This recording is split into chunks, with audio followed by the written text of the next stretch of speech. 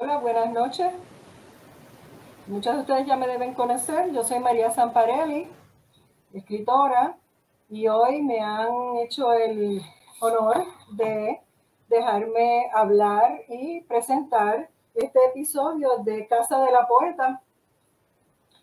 Y me, encanta porque a pesar de que ha sido algo un poquito eh, improvisado, me da la oportunidad para tocar un tema que espero que a ustedes les interese. Eh, también quiero darles las gracias a Radio Raíces, que está donde se está retransmitiendo el programa, y Adrián Segaca, que está de técnico en los controles, para que todo nos salga bien. Pues voy a darle un poquito de trasfondo a lo que se me ha ocurrido hablar con ustedes en el día de hoy. Eh, quisiera hablar un poquito de literatura oriental, hablo específicamente de literatura japonesa, china, coreana y vietnamita. Les voy a explicar cómo es que he llegado a este a esta tesoro que he encontrado en, en YouTube, eh, porque a mí me interesa, siempre me ha interesado mucho la literatura y la estética plástica oriental. Eh, porque es muy exuberante, la encuentro barroca y creo que eso resuena con nosotros los caribeños, ser barroco. Ya lo hizo Alejo Carpentier, lo, han hecho otros autores, yo diría que Carlos Fuentes también. Y mm, la, soy una admiradora de todo lo que sea diseño y de artes plásticas, así que me interesa mucho también la, la ropa, eh, los decorados, las telas, los procesos para llegar a, esos colores o a esas telas. Em, nada, y el paisaje también, porque por ejemplo, si vemos imágenes de Vietnam, eh, para mí es como estar viendo parte de Puerto Rico con los mogotes, con los montes eh, de arcilla, de, perdóname, no de arcilla, de, de piedra cárstica. Así que pues yo pienso que estamos en opuestos partes del mundo, pero que de alguna forma nos comunicamos. Así que buscando, buscando y leyendo, eh, les voy a decir de mi primera lectura, la tengo aquí, es el libro de la primer, lo que se considera la primera novela, eh, las historias de Genji. Este libro lo escribió una, una persona, un miembro de la corte eh, de la emperatriz y le escribió esta mujer que está como el nombre de Lady Murasaki. Y ella habla de las peripecias de Genji en la corte, muchacho joven, y en las situaciones que se, se ve involucrado, sus amores, todo ese tipo de cosas. Después de, de leer este libro hace poco, yo había leído esta versión del libro de la almohada que preparó José Luis Borges con eh, su, ahora su esposa, su esposa, María Kodama. Ellos hicieron una mm, recopilación y una edición del libro original, que sería este, el libro de la almohada, como ven es un libro mucho más voluminoso, y ellos escogieron aquellos temas que le interesaban. El libro funciona como un diario, como una crónica, como un como un lugar donde reflexionar por escrito de eh, Sei Shonagon, la escritora. Así que estamos viendo dos mujeres escritoras en Japón. En el siglo, estamos hablando, si me da una oportunidad, porque estas cosas, bueno, después les debo lo del siglo, pero lo busco ahorita. Dos mujeres que eran eh, rivales en la corte de la misma emperatriz. El libro de la almohada, este, que es mucho mayor y más voluminoso, eh, esta edición yo di con ella porque veo un programa de Miguel Sardeña, un argentino, que tiene un programa para, como él lo denomina, orientalistas y futuros orientalistas. Y ahí he descubierto ediciones de libros y escritores que yo no conocía tanto, como les acabo de explicar, orientales tanto de Vietnam, Corea, eh, China y Japón. Y entonces, pues yo mandé a pedir este libro. Este libro lo conseguí a través de una librería en Argentina que se llama Librería Norte. Excelente servicio. Eh, hay otros que he conseguido aquí en la librería El Laberinto, en el Viejo San Juan, como por ejemplo el de que me llegó hoy, Soy un gato, de Natsume Soseki, Soseki. Este lo tienen en la librería Laberinto, acaba de llegar y se está yendo, me dicen que como pan caliente. Así que este lo conseguí por la librería Norte, me lo enviaron por correo de DHL y no es porque estoy dando un anuncio, porque yo respaldo cualquier librería que me dé buen servicio. Llegaron rápidamente y sin ningún problema. Sí les puedo decir que el costo les puede parecer un poco alto porque vienen de Argentina y pues vienen por el servicio de DHL. Pero para mí, eh, que soy una adicta a los libros, eh, no pude resistirme a tener eh, el, libro, ordenarlo. Y aquí mirando en la solapa, puedo ver que estamos hablando que ella era ayudante menor de la emperatriz Sadako, igual que Lady Murakami, del año 976 al 1001. Así que estamos hablando de, de tiempo, de una cultura, como sabemos, milenaria, y eso a mí me, llama mucho la atención que todavía haya que, accesibles a, a uno a, mí como lectora esta, este tipo de escrito. Claro, esto ha pasado por múltiples ediciones y, copistas que realmente no se sabe exactamente cómo era originalmente, pero se ha tratado de ser fiel y ellos le explican de dónde está. Esta es de traducción de Adriana Hidalgo, editora, y ellos tratan de mantener una línea bastante directa con el, con el texto que consideran más cercano al original. Así que aquí estas dos primeras lecturas iniciales se las, se las recomiendo para que si quieren explorar otra cultura y otra estética literaria, pues por aquí pueden empezar. Entonces, leyendo o escuchando el programa que les había mencionado, también vine a una editorial argentina, que, que el dueño es eh, Miguel Sardeña, que se llama también El Caracol. Y ellos tienen una serie de publicaciones, todas de literatura japonesa o china, que tienen que, por ejemplo, estos dos libros que yo ordené también a la Librería Norte, Juntando Espigas en los Campos de Buda, por Lafcadio Han, y La Canción de la Rosal. Aquí en la Canción de la Rosal, el Lafcadio Han, que era un, irlandés y se fue a Japón, y eso me está muy curioso y tal vez puedo hacer un paréntesis aquí, cómo las personas nacen en ciertos lugares. El Estadio Jaén nació en Argentina, pero eh, una vez llegó al Japón, las experiencias de su vida lo fueron llevando a Japón y sus trabajos también. Y una vez que encontró el Japón, allí se quedó. Se naturalizó como japonés, aprendió japonés, se casó allí y allí murió a los cincuenta y pico de años, bastante relativamente joven pero él hizo la cultura suya. Y a mí eso siempre me ha llamado la atención, cómo hay personas, incluso, por ejemplo, y todos nosotros debemos conocer a alguien que viene a Puerto Rico y no quieren irse de aquí por más foránea que sea su cultura de la nuestra. Se sienten como que han llegado a su tierra.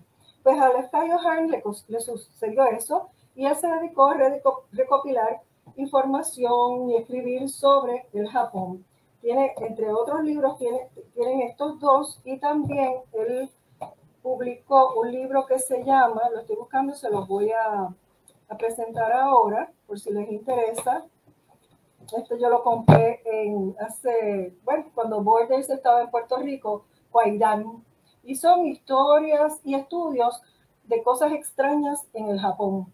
Todos se los recomiendo si quieren explorar la, la, cultura japonesa desde la perspectiva de un hombre, que, un escritor y un hombre que fue allí y, como quien dice, pudo entender la cultura, se hizo dueña de ella en cierta medida, hasta donde es posible, y la puso, la puso por escrito, lo cual le permite a cualquier lector interesado en la cultura japonesa y en los simbolismos de la, de la literatura china, de, perdóname, japonesa, explorar un poco. Por ejemplo, en la canción de la Rosal, eh, él describe los distintos tipos de cigarra, los cantos de la cigarra, cuándo es que salen en qué época del año, eh, cómo cantan, cuál, es el valor de estas cigarras en la cultura japonesa. Y eso pues resuena con nosotros porque nosotros también tenemos, por ejemplo, el coquí y hay gran variedades, grandes variedades de, de coquí y nosotros si tuviéramos más exposición o si hubiésemos tenido mayor exposición y conocimiento, tal vez pudiéramos distinguir por el canto cuál coquí es el que estamos escuchando en ese momento. Pues aquí está la cigarra, en la canción de la Rosal. Y hablando de la canción de la Rosal, le quiero presentar otro libro que pienso que les pudiera gustar. Este lo compré en la librería Laberinto, se llama Luna Llena. Y es una novela muy, muy, muy, no es sentimental, es una novela muy sensible, es, emocionante. Se trata de este matrimonio mayor japonés que se ha mudado a un hogar por voluntad propia, eh, porque la señora está empezando a sufrir de los síntomas de Alzheimer. Y su esposo, pues los hijos lo convencen de que lo mejor es que ella tenga ayuda, que él tenga ayuda con, con los asistentes allí en el hogar para que la ayuden según la enfermedad vaya progresando. Pero ¿qué sucede? Una mañana la señora se despierta, mira a su esposo y no lo reconoce como esposo de ella. Y se pone muy nervioso y, lo quiere sacar de la habitación que ellos están compartiendo. La cosa es que los eh, empleados ayudan a manejar la situación simplemente poniendo una cortina entre las dos camas, de manera que ella no se sienta que está durmiendo con un hombre que no es su esposo. A todo esto, ella empieza a hablar de un hijo que tiene, de, que, un, perdón, de un, de, un, de un hombre que como que ella tiene que devolverle un dinero.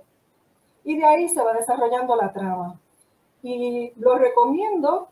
ella habla mucho de la cigarra y si se fijan en la portada, aquí lo voy a acercar un poquito, en el, la ropa de ella hay una cigarra, porque ella, a pesar de que está empezando a tener los primeros síntomas de Alzheimer, ella sabe qué cigarra está cantando y se lo dice a su esposo, que, que, ella cree que no es su esposo. Eh, yo, es una novela corta, tiene apenas ciento 60, tiene un glosario sobre las la cigarras, 165 páginas de, buena de buen tamaño de letra. Y les recomiendo a cualquiera que quiera leer una novela corta, rápida y con mucho impacto, tanto emocional y emotivo, y también de tratar de encontrar en esa mente de esa persona qué es lo que ha sucedido en el pasado que ella a nadie nunca le contó, pero que todavía ahora que está teniendo unos síntomas donde va a perder la memoria, ella sí recuerda que tiene que devolver ese dinero. Así que les recomiendo esta lectura y como les dije, la conseguí en Laberinto. Entonces, siguiendo por aquí.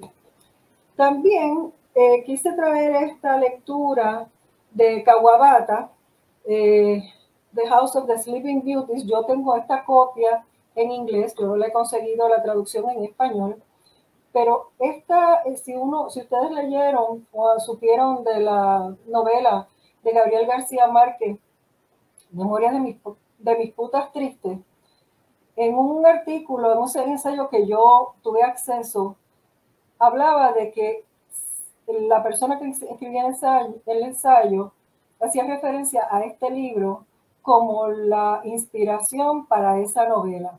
En esta novela, eh, realmente es corto, un cuento corto, eh, se habla de este hombre mayor que va a la casa de las bellas durmientes, vamos a ponerlo entre, decir que son las bellas durmientes, unas muchachas que están narcotizadas, ellas duermen y ellos sin hacerles daño, sin tocarlas, pueden observarlas mientras ellas mientras ellas duermen. En el caso de este cuento, la muchacha muere y entonces la, dueña de, la casa le dice, pero yo te la puedo sustituir por otra, eh, eso no hay ningún problema. Ya que son, son simplemente intercambiables, que pudiéramos entonces hablar en, términos de este cuento, si es que la vida vale tan poco, eh, que todo es intercambiable, o si da lo mismo una cosa bella que otra, eh, todo toda una serie de interrogantes y buenos temas de discusión sobre lo que significa la belleza, um, la observación de la belleza, la contemplación de la belleza eh, y la muerte, vamos a poner de algo bello. Así que esta sería otra. Esta yo pienso que la pedí por internet, ahora mismo no me acuerdo, pero si quieren tener una idea de dónde tal vez Gabriel García Márquez sacó su tema, claro que a mi entender la, la temática y la forma, el asunto no traduce bien a nuestra cultura porque estamos hablando de dos, obviamente dos culturas distintas, una estética distinta, una narrativa muy distinta y tal vez eh, no fue, el, pienso yo, la, la, adaptación, la mejor adaptación de esta idea a nuestra cultura. Pero eh, Memoria de mis putas tristes es también una novela que hay que respetar. O sea, es la creación de un escritor que no lo hizo una vez en la vida, sino un escritor consagrado que tiene derecho a hacer unas cosas mejores, otras no tan buenas, pero tiene una trayectoria importante. También de, les voy a seguir hablando de lo que he encontrado de la literatura. Aquí tengo eh, Confessions of a Mask de Yukiro Mishima, un libro muy interesante, eh, lo vi recomendado en el, en el podcast, en el, perdóname, en, el, en la serie de YouTube que les mencioné y me intrigó el tema. El tema es, es un, Yukiro Mishima es un autor consagrado clásico japonés y, eh, y un guerrero. Y en este libro, él desarrolla, vamos a ponerlo, pudiera ser un poco, eh, eh, pudiera no, tiene es autobiográfico en el sentido de que él está buscando su identidad sexual. Y vemos el proceso psicológico de este personaje, cómo se siente que anda siempre escondido detrás de una máscara, en una, así tratando de hacer una apariencia, tratando de mantener un frente, cuando él dentro de sí mismo sabe que realmente él no está siendo ni sincero ni honesto consigo mismo, ni con las personas que lo rodean, porque tiene una relación platónica con una mujer y ella, infiero yo de la lectura que yo hice, ella se da cuenta de que realmente él no tiene interés en ella, pero que sí tiene unos ciertos sentimientos amorosos, pero realmente nada que se va a concretar en acciones ni en lazos afectivos. Así que esta, este libro también lo recomiendo si quieren leer el tema, ver eh, desde el punto de vista, el autor también era homosexual y él también probablemente pasó por este tipo de autorreflexión sobre su sexualidad y su, y su, y su posición en el mundo frente a los demás. Bien. Entonces, vamos, acabo de recibir en el día de, antes de ayer, este libro que ordené, que me intriga, es El sueño de la aldea Yin de Yang Millanque. Y empecé a ver las primeras páginas y me tiene muy intrigada, no tengo, todavía voy empezando, estoy por la página 23, pero este habla de una aldea donde los miembros de la aldea vendían sangre. Y de alguna manera u otra, que todavía no he llegado a esa parte, se contaminaron con SIDA y empiezan a morir en la aldea los hombres, las mujeres y los niños. La narrativa, de la forma que está narrado, la, estructura y la narrativa, eh, me intriga, porque a veces, eh, por ejemplo, está hablando de, de, la lluvia que está cayendo sobre la, sobre la aldea y dice, había abandonado la aldea esa misma mañana para asistir a una larga reunión en la que las autoridades del condado le habían informado de algo confuso y el camino de regreso había supuesto una iluminación. como ilumina el sol de la aurora un día claro. Comprendió que las nubes traen la lluvia. Comprendió que a finales de otoño llega el frío. Comprendió que quienes habían vendido sangre 10 años atrás estaban contagiados con la enfermedad de la fiebre y que la enfermedad suponía la muerte, como la caída supone el fin, como la caída supone el fin de las hojas. La enfermedad de la fiebre se escondía en la sangre y el abuelo se escondía en los sueños. La enfermedad de la fiebre anhelaba la sangre como el abuelo anhelaba los sueños. El abuelo soñaba todas las noches y las tres últimas se había repetido el mismo sueño. Me parece hermosa la, prosa de este escritor. Eh, estamos hablando, como les dije, de Yang Yang Yankee, y nacido en 1958, eh, ganador de muchísimos premios. El libro es muy bonito, eh, tiene una, las, hojas iniciales son negras, lo cual a mí me parece un, un, una adición al diseño del libro que me, me, parece fascinante, porque ya con el color y las dobles hojas va, a, va estableciendo una atmósfera para mí como, como lectora que no solamente me fijo en lo que leo, sino cómo me lo están presentando. Eh, me pareció, me parece genial cómo está. De hecho, es importante cómo los autores presentan sus libros y esto es una digresión, pero estuve leyendo también en un ensayo, unos ensayos que me recomendó eh, Félix Durán, que de hecho ustedes pueden encontrar su entrevista en el Post Antillano, en estos días lo hicimos, artista plástico, me habló de los testamentos traicionados de Milán Kundera. Y lo comencé a leer y me pareció muy interesante cuando hablan de Kafka, que Kafka le había pedido a sus editores que escribiera, la, que utilizara una letra grande en, al publicar sus manuscritos. Claro, los editores pues no quisieron hacerlo y eh, Milán Kundera explica por qué Kafka eh, pedía esa letra grande, porque sus oraciones eran muy eh, corridas, sin puntos, sin comas, un poco me imagino que como Saramago, y al tener la letra más grande le, daba, le permitía al lector detenerse o tomar más tiempo para leer una palabra y poder respirar en el proceso de leer. Y ese comentario me pareció muy interesante porque también yo había leído sobre William Faulkner, que en un momento dado, en una de sus novelas, y no me puedo recordar ahora de ellas, pero bueno, cuál de ellas, eh, había querido que el editor le escribiera los distintos, cuando distintos personajes hablaban, que le pusiera la letra en diferentes de colores.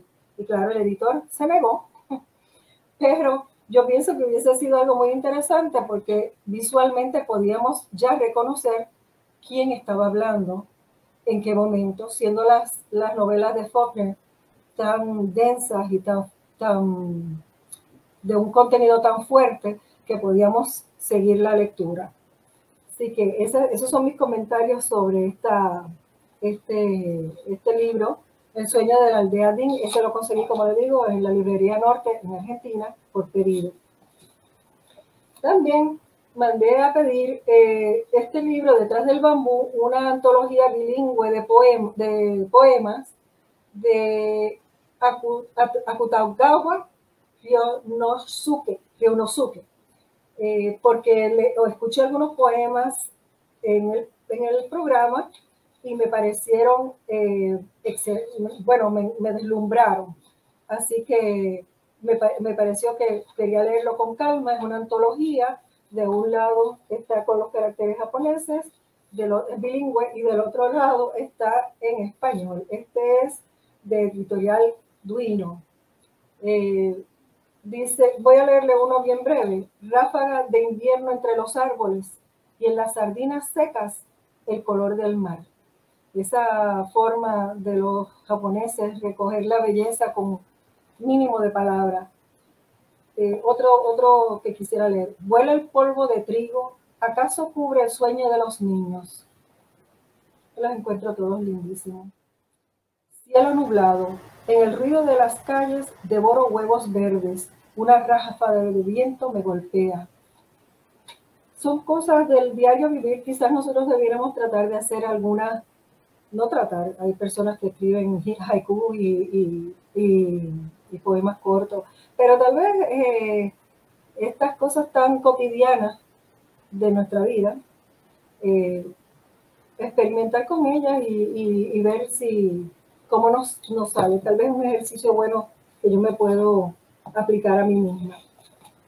Bien, entonces, otras dos novelas de las que les quiero hablar, de la escritora vietnamita Kim Sui, estos ambos los compré en Laberinto, Ru y M. Primero leí M y luego leí Ru, son dos palabras vietnamitas eh, una quiere decir, quiere decir, ella, la escritora, es una escritora, eh, Kim Thuy, como les dije, ella está radicada en el Canadá y ella escribe en francés, pero ella es de descendencia vietnamita, y dice que la palabra, que la palabra M se refiere al pequeño hermano o a la pequeña hermana de la familia, o el más joven de dos amigos, o la mujer en, el, en la pareja y ella dice, y a mí me gusta pensar que la palabra em es el homónimo de la palabra amar en francés y el, y el, verbo imperativo de amar, amo.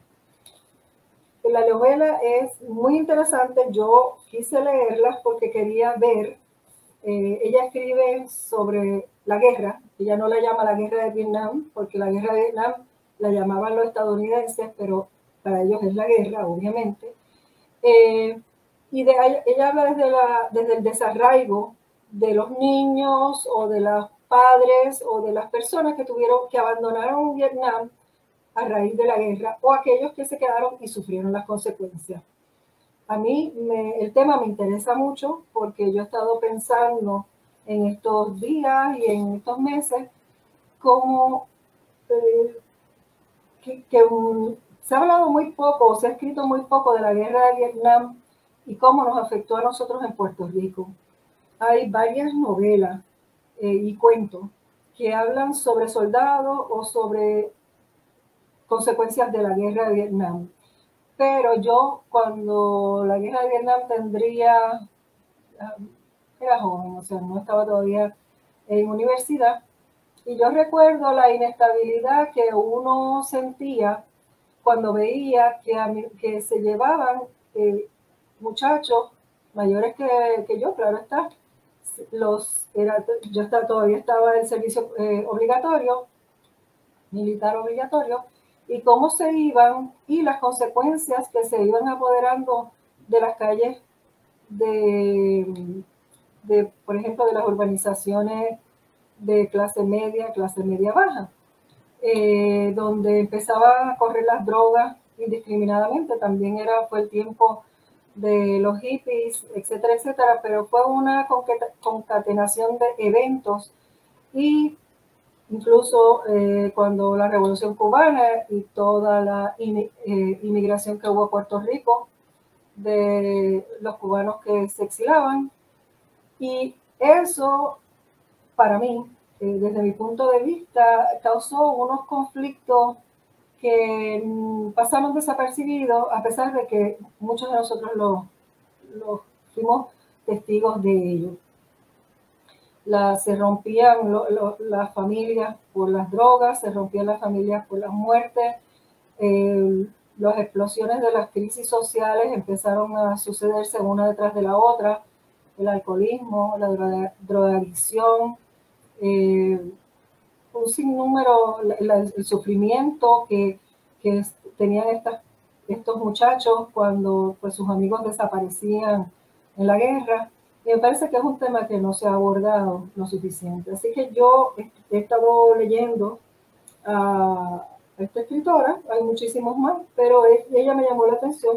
Son otra vez novelas, novelas cortas, eh, rápida lectura, eh, de una forma de, forma que son capítulos o secciones muy, muy cortas, a veces de página y media, y uno puede releerlas con calma y saborearlas y regresar a ellas luego de haber terminado la novela, si alguna de ellas de alguna forma nos ha estremecido.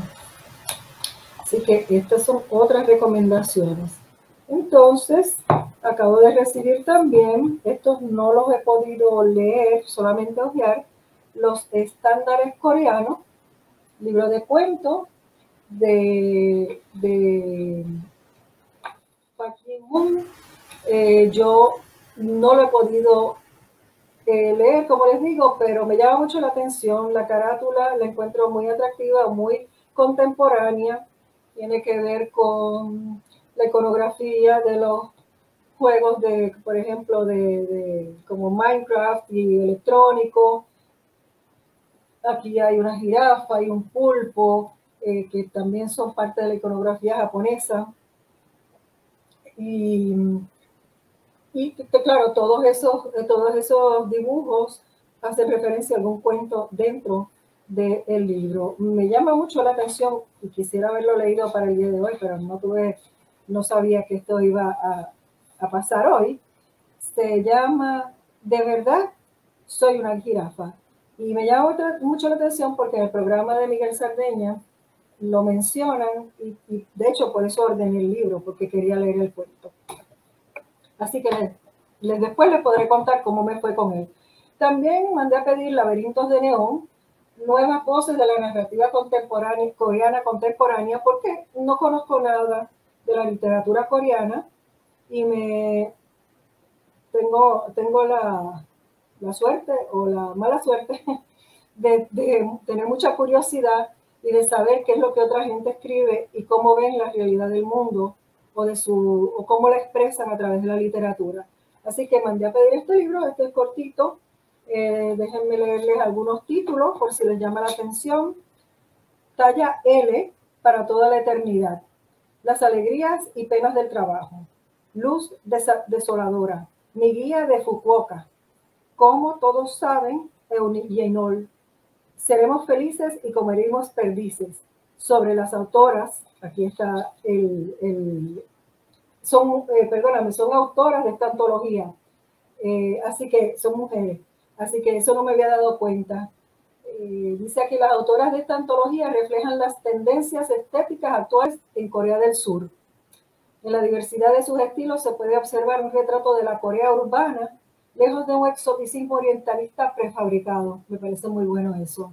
Por primera vez publicados en español, los cuentos son una entrada a un universo cultural novedoso y complejo en el que no se busca aprender las transformaciones que la globalización imprimió en la cultura local, ni se fortalece ideológicamente en la crítica a la sociedad del consumo, ni expía culpas radiografiando las huellas que conflictos históricos traumáticos dejaron en la comunidad y en las familias coreanas. Simplemente miden de un modo eficaz e irónico, siempre en primera persona, el pulso de la vida social y sentimental de la Corea contemporánea.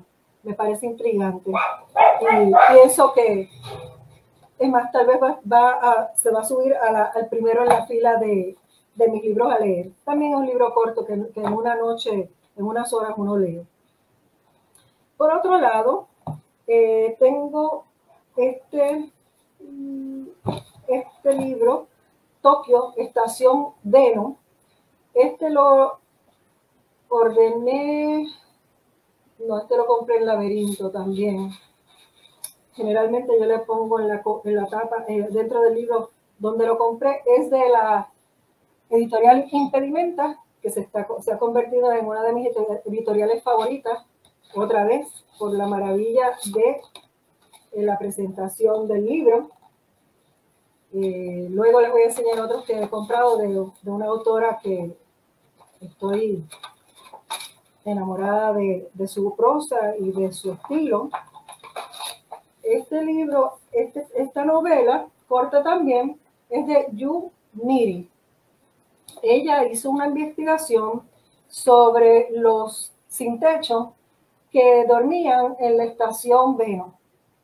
El libro está contado desde el punto de vista de uno de esos deambulantes o sin techo, en el caso de, del libro, en el libro de ella lo llaman sin techo, y él está observando qué ha sucedido con los compañeros que él tenía en la estación, porque cada cierto tiempo venía la policía, si el emperador venía a visitar, pues sacaban a todos los sin techo, los movían, ellos tenían que deshacer sus casas que eran de cartón y plástico, hasta que el emperador pasara, hablara, y entonces ellos podían reconstruir sus hogares. En algunos casos, pues no los volvían a, reconstruir o perdían los materiales y entonces se encontraban otra vez eh, sin casa, doblemente. Este señor, que está muerto, pero que es el que narra la historia, era eh, un profesor, pero por las circunstancias económicas de la vida, y me parece muy pertinente, tiene que abandonar su pueblo para ganarse la vida de una,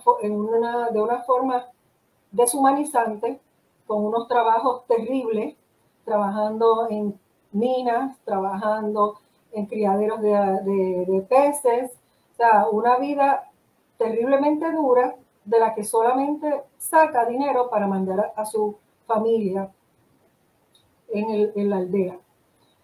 Eh, finalmente él muere y muere de una forma tan anónima que uno siente una gran tristeza por este personaje, que aunque sabemos que está muerto, volvemos a revivir su muerte, igual que se puede revivir la muerte de, cualquier persona que vive en la calle sin amparo. Así que esta la recomiendo, es una novela corta y es otra, otra mirada sobre la realidad económica contemporánea en el Japón. Me dice mi director que ya tengo nada más que 15 minutos que le quedan, pero me faltan unos libritos por comentarles. Mil Gotas, editorial Mil Gotas, envié a pedir, envié a pedir este, pedí, solicité, ordené este libro, La mitad de la mitad, de Yang Yanghe, un poema, un escritor, un poeta chino está entre los 15, 15, entre los cinco principales poetas contemporáneos en China.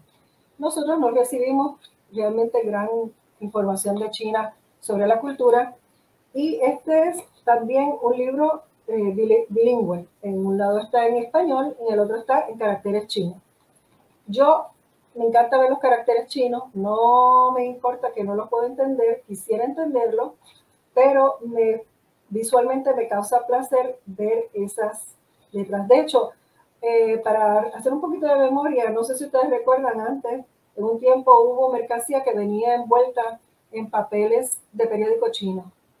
Eso yo lo recuerdo bien, bien niña y, había, y estaban esos, esos, esos papeles de periódico que envolvían los, las mercancías. Este se lo recomiendo, tiene un poema hermoso que se llama Los Tigres de Borges es un poema largo, tal vez en otra ocasión lo pueda leer para ustedes y me parece que lo van a disfrutar muchísimo. El libro es, es, una, es un viaje maravilloso en las letras. Entonces, para, como les dije, hoy recibí Soy un gato, y es desde el punto de vista de un gato que se cuenta la novela. Esta también se la podré comentar en otro momento, no la he empezado, me acaba de llegar. Y entonces, para terminar, porque ya estamos a punto de retirarnos, quiero recomendarles a esta escritora eh, yugoslava. Ella no, ella no se considera ni serbia ni, ni croata. Ella insiste en que ella es eh, yugoslava. Ella se llama Dubravka Ugresic. Y yo he leído estos tres libros de ella, La Edad de la Piel, Zorro y El Museo de la Rendición Incondicional. Yo les, les recomiendo cualquiera de estos cuatro tres libros. Estoy esperando por un cuarto libro de ella que se llama Babayaga puso un huevo. Dice, no me ha llegado. Estos también son de la editorial Impedimenta y como les dije, pues son libros de una presentación hermosa. También los obtuve en la, en la librería de Laberinto, en el Viejo San Juan. Eh, yo los, me parecen hermosos, son en extremo interesantes porque ella aborda el tema de la guerra en Yugoslavia y la, la guerra entre civil, vamos a ponerlo entre serbios y croatas, eh, y cómo fue, como desde el punto de vista de ella, como escritora y como observadora de la realidad, se montó una, unos, se han montado unos gobiernos de mucha corrupción y donde lo que antes estaba bien ahora está mal y puede ser que en el futuro lo que está ahora mal después va a estar bien. Y esas, esas contradicciones me parecen a mí excelentes para reflexionar sobre la realidad que nosotros vivimos, con nuestra realidad propia.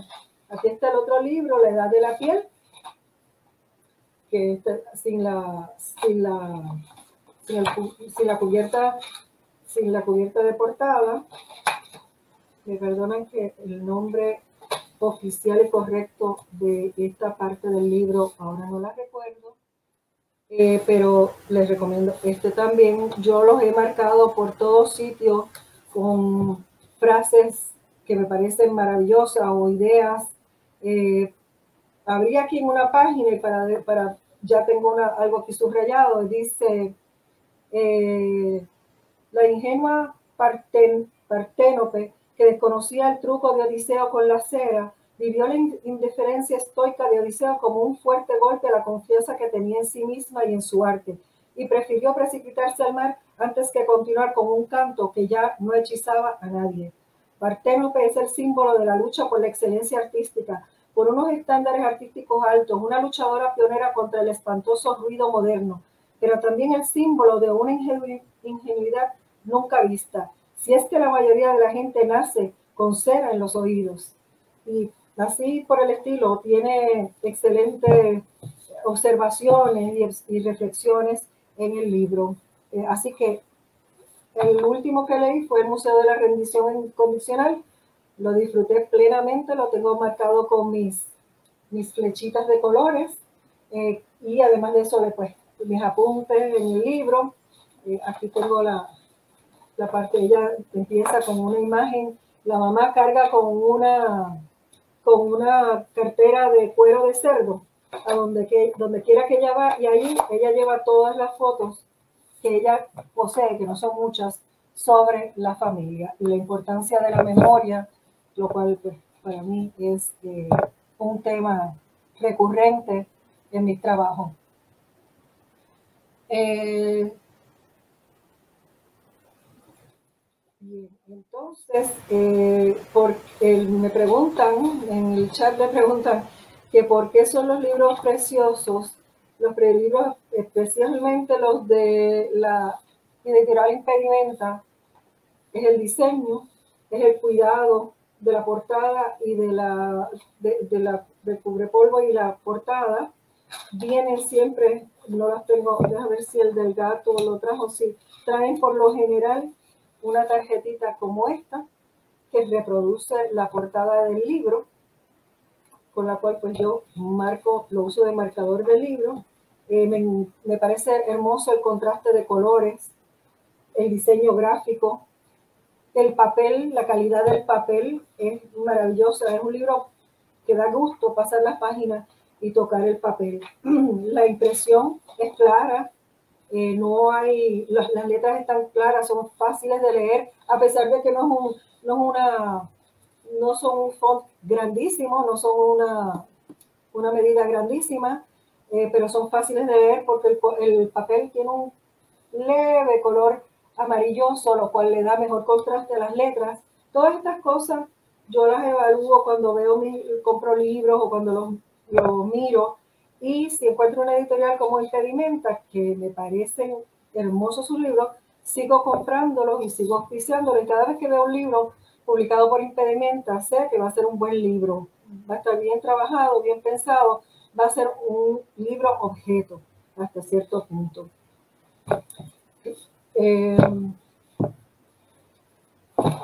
bien, pues tal vez para terminar, que ya estamos llegando al final, aunque hoy empezamos un poquito retrasado, me gustaría que si en algún punto ustedes se quieren comunicar con el post antillano y les interesa alguno de estos libros que les he presentado, eh, pues se comuniquen y me dejen saber eh, si les gustaría que yo comentara alguna de mis lecturas más a fondo, lo cual haría con mucho gusto porque tengo entonces con quien hablar de, mis de mis impresiones. Que voy a, presentarles este último libro, no voy a entrar en, en profundidad con él, es de un argentino, se llama Martín Sancia Kawamichi, se llama Shunga. También lo conocí a través del post que les dije de YouTube, el post no, el, el, el canal de YouTube de Miguel Sardeña. Y lo envié, lo mandé a pedir. El libro Shunga es el título de, o como se le llama, a los libros de imágenes eróticas japonesas en, ese, en un tiempo eh, lejano, ahora no les puedo decir el siglo, pero se, mm, circulaban libros de grabados, sí, es una geisha, eh, se, publicaban libros de, con grabados de imágenes eróticas explícitas y exageradas como una forma de entretenimiento y de placer no es pornografía como la conocemos acá en Occidente. Es una estética, como ya he mencionado anteriormente, distinta, pero es la exageración, vamos a poner hasta cierto punto, de la sexualidad. Eh, a mí el tema del, del shunga me, me parece muy interesante por el detalle de algunos de esos dibujos. Lo pueden buscar en, internet, pueden dar un search y verán la calidad de esos grabados. Algunos, eh, claro, algunos eran mucho mejores que otros, dependiendo del artista, pero eh, también indica a la cultura y al sentido del placer, la sexualidad oriental, que no es la nuestra. Y eso pues a mí me parece interesante porque otra forma de ver al ser humano, su sexualidad y su vida erótica y sus intereses eróticos. Así que esta novela está escrita, es una novela que la tengo en, vista para leerla una segunda vez, porque pasa de una aparente verosimilitud de la realidad a la fantasía, a los a los intereses y a, los, a la búsqueda erótica, a veces rayando en el sadomasoquismo para nosotros. No, quiero decir que eso sea así para los orientales, pero el sadomasoquismo, donde el dolor y el placer están eh, íntimamente ligados. Pero el libro lo tengo que volver a leer para estar más clara. El libro también, eh, en algunos de sus eh, capítulos. Los capítulos son muy, muy cortos. Pueden ser, por ejemplo, como este, que tiene poca, incluso los párrafos, vamos a ponerlo así. Y entonces, por ejemplo, hay personajes eh, como anotaciones de Cojana, que hace un poco de referencia a la estructura de lo que hablé con el libro de la almohada. Ella dice, se, ponen aquí anotaciones todas más. Llanto. Llorar tantas horas seguidas es agotador. Duele la luz y cada cosa que la luz toca. Lo invisible se vuelve venenoso, se vuelve enemigo. Luna de musgo. Ay, luna triste, que cubres de musgo a las no amadas. Y así por el estilo, ella hace, eh, hace reflexiones, hace listas, igual que en el libro de la almohada, eh, porque la premisa aquí es que hay un hombre que pide que vengan tres actrices a llorar a su casa por la muerte de su esposa. No, eso es uno de los temas, de uno de los ejes narrativos. Así que lo voy a volver a leer y si alguno de ustedes le interesa, lo pueden ordenar a Librería Norte en Argentina. Bien, eh, tenemos, eh, si les interesa, como vuelvo y lo repito, y perdonen que lo repita, pero es que como estoy hablando con, como quien dice, conmigo misma, eh, me gustaría mucho oír sus comentarios, que los dejaran escritos en la página, en el canal de El Post Antillano, y tal vez podamos explorar juntos en algún punto algunas de estas novelas, algunos, algunos poemarios o, podemos incluso, si les interesa, y ustedes pueden conseguir los libros, los leemos, los hablamos o los conversamos por el chat y yo puedo darles mi opinión. Eh, para conseguirme a mí o para escribirme me pueden encontrar por Facebook como María Zamparelli, tengo una página y tengo mi perfil en Facebook. También tengo una página web, pero esa ustedes ahí pueden ver cuál ha sido mi trabajo, mis publicaciones, mis novelas, mis libros de cuentos. se llama mariazamparelli.com y mi correo electrónico, si quieren mandarme una nota personal, es m de de Denise, que es de Denise, Samparelli, como aparece en pantalla mi apellido, a gmail.com. Me encantaría saber de, estos lectores que estoy segura que van a aparecer porque los, lectores somos muy, muy curiosos. Y tal vez en una nota personal les puedo decir que a mí la estética oriental o el orientalismo me, llama mucho la atención y en muchos de mis trabajos eh, yo sé que está la influencia ahí por mis lecturas y por, mi, por mis intereses personales en cuanto a esa estética. Eh, que ahora ya estamos llegando al final del programa.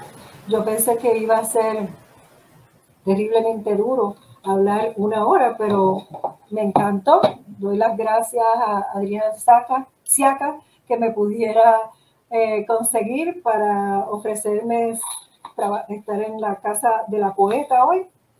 Eh, quiero darle las gracias a Radio Raíces, a El Postantillano, a la, librería Laberinto también, que trae tantas novedades a Puerto Rico, igual que otras librerías, pero pues ahí es que yo he encontrado estas novedades de impedimenta además de otras muchas selecciones sobre filósofos coreanos, etc. Y antes de irme, para ya para cerrar, les voy a leer, para que se queden con un poquito del, me parece que sería lo mejor para ustedes, Luna Llena, eh, escrita por Aki Shimasaki, no, no sé si les había mencionado, una escritora también, y dice, dice así, me despierto con el bullicio de los gorriones. Durante un instante me pregunta dónde estoy. En nuestra casa. Echo una ojeada hacia el ventanal entreabierto. Al instante reconozco nuestra habitación en la residencia para la tercera edad en la que vivimos. La cama de Fujiko está vacía. La manta de verano y la sábana están arrugadas. La almohada y el cojín no están bien colocados. Debe estar en el cuarto de baño. El reloj de la pared marca las 7 menos 5. Me sorprendo. Habitualmente mi mujer no se despierta antes de las 8. Aprovechando el frescor de la mañana, daremos un paseo antes de desayunar. Tumbado en la cama observo los muebles que trajimos de casa. Un sofá, un sillón, la mesa redonda, unas sillas, mi escritorio, el tocador de Fujiko. Son antiguos pero de buena calidad. Las cámaras compramos durante la mudanza. Fue idea de Fujiko tener dos camas individuales en vez de una doble. Ahí ya, con ese primer párrafo, ya vemos, ya vemos una, vemos la antesala de lo que después se va a desarrollar como una separación involuntaria del esposo por la esposa de toda la vida. Pero les, les, recomiendo la novela, de verdad la van a disfrutar y toca el tema de la senilidad de una forma muy diferente, y muy refrescante. Quiero darle las gracias a todos otra vez por haber estado aquí escuchando este programa, La Casa de la Poeta. Me siento muy honrada de haber podido compartir con ustedes y espero que nos escuchen la próxima vez, en la próxima edición. Y hasta entonces, hasta luego y gracias.